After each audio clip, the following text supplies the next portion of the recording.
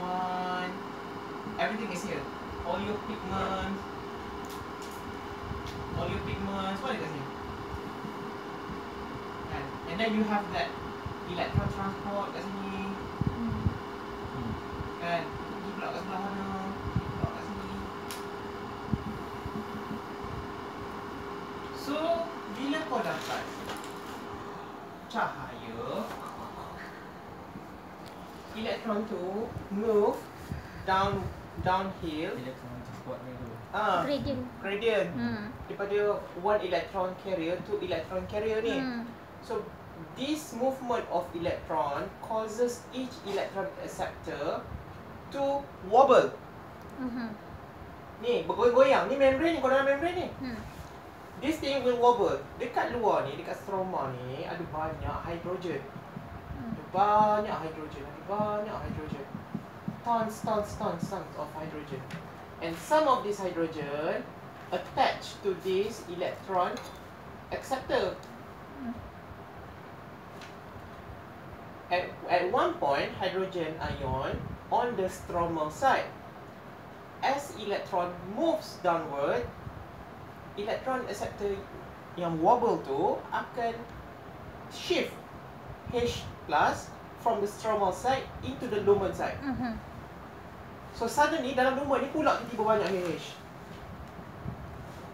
Penuh, penuh H, penuh H, penuh H, penuh H, penuh H, penuh H, penuh H. Sekarang ni dekat stroma pula dah kurang H.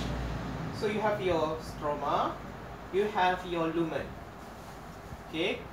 Now, due to this electron transport activity, you have higher concentration of hydrogen Hmm. Ion inside of lumen. Lumen. There is imbalance now. Hmm. Kalau dia imbalance, apa jadi?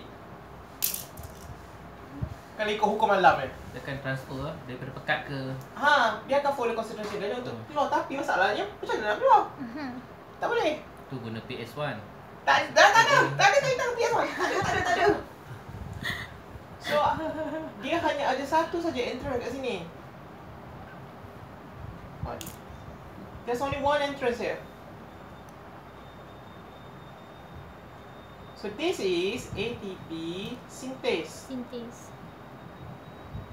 is is is a is a membrane protein that allows hydrogen only hydrogen ion To to exit the lumen.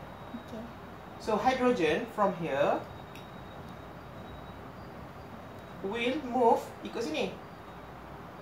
Keluar. As it moves out, ATP synthase ni kau nampak kepala rotor ni, rotor head ni, Hmm. rotor head ni, rotor head ni akan pusing. Rotor head ni, kalau kau nak tahu, ada point of attachment. Dekat sini ada ADP, dekat sini pula ada satu inorganic phosphate, P1. Satu kat sini, satu kat sini. Yang which diambil daripada stroma, memang terapung banyak kat stroma. Hmm.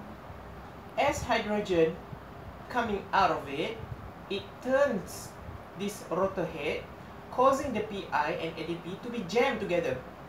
ATP. Jadi, kau dapat lah ATP. Hmm, See? ADP. Hmm. Aku tak ajar benda ni. Aku rasa kenapa kau rasa aku dah ajar? Belum.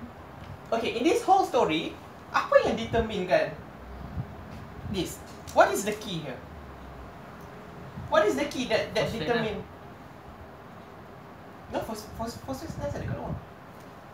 Of course, at one point dia akan habis. Tapi sebelum phosphate tu, what determines? What determines the whole story? Hydrogen.